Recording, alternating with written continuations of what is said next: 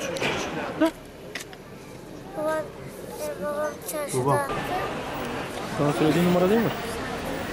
Babanın adı? Bırakıp gitmiş muhtemelen. O numarayı verince muhtemelen de yanlış veriyor. Tamam kardeşim. Evet. Tamam aynen doğru. Değil falan ayıp. Siz de zahmet verin. Size de yardımcı olursanız. Tamam. Merhabalar. Şey, Serhat, benim numaram var. Hangi okul?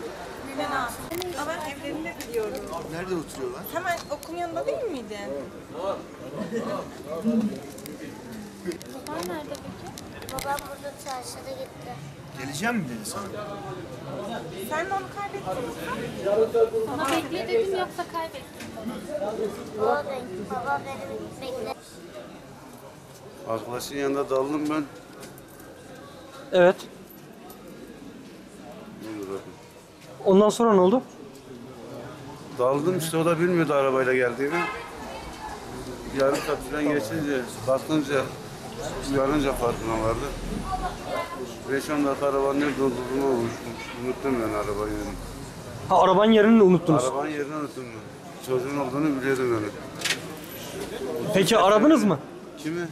Arabanın nerede olduğunu aradınız mı? Telefon trafiğine giriyordum. Ben şekil buldum telefonu. Ha, o şekilde buldunuz. Hayır. Ne zamandır arıyorsunuz? Yol 15 dakika, 15 dakika oldu, 10 dakika oldu. Yalnız 5 saattir unutmuşsunuz. Bunu biliyor muydunuz? Oraya hiç farkına değilim. Alkol var herhalde. Yok alkol yok. Eşin mi? Eşin, eşinle birlikte trafik şubeye gelirsin, arabanı alırsın.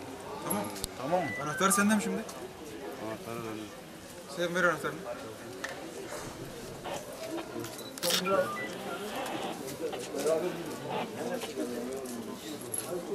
Hadi Tuğba gel abi. Gel. Eşi. Eşiyle birlikte gelirsin trafik şubeye. Kendisi arasın. Fark etmez o gelsin yeter yani.